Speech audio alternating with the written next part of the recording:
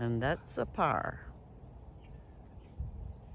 If you want to reach our large network of affluent golfers who love to travel, contact Jim at worldsbestgolfdestinations.com for more info.